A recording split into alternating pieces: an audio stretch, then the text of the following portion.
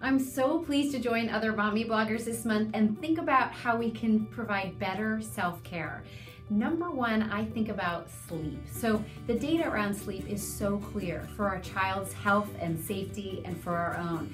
But we tend to be really crazy and devout about making sure our kids sleep and not for ourselves. We really can improve the quality of sleep that we get seven to eight hours every night by exercising in the morning. That particularly helps our ability to fall asleep at night. And it also, if we do it outside, gets us that good sunlight. Target the morning for that. In addition, as best we can, we should get off our devices about an hour before we really want to sleep both because of the light and the effect on our own melatonin, but also the activation that comes from those devices. Two other things to think about caffeine anytime after noon will affect your sleep, and maybe one glass of wine at dinner is fine, but more than that really will kind of change the pattern and quality of sleep. You still may fall asleep pretty quickly, but the quality of that deep sleep will change. Another thing I think we have to think about is just kind of stress and our work life balance. Doesn't matter if you're a stay at home mom or you're a working mom. If you survey both groups, about 50% of stay at home moms say they're really stressed. 48% of working moms say the same thing. I think we have to really like zoom back out and acknowledge that we are trying to do a lot. I love the quote from the book Lean In where Gloria Steinem says that Superwoman is the adversary of the women's movement.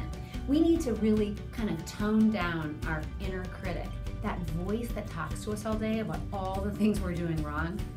And I think really acknowledge that there are bookkeeping errors there, that really we can actually celebrate what we get done.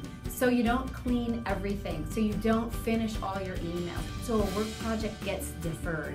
At some point, this precious privilege of raising kids and us getting to sleep and feeling good about our choices every day really matters. What's perfect today for you and your balance of staying home or working may not be perfect next year. Of anything I always counsel families in the clinic, it's really just to know that you can make change whenever you want.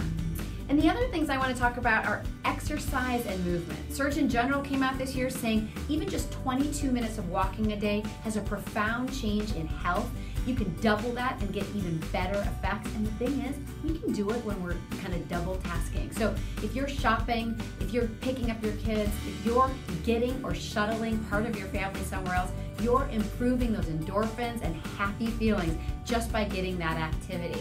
Check that box off even when you're doing something else. This is a great time of year to think carefully about how much your sleep matters how good you can feel about your individual choice compared to your neighbors or your sister-in-law or your coworker. And really take time to think about this profound privilege to make sure that you're double tasking when you can and you know there are many solutions where less is more. You've got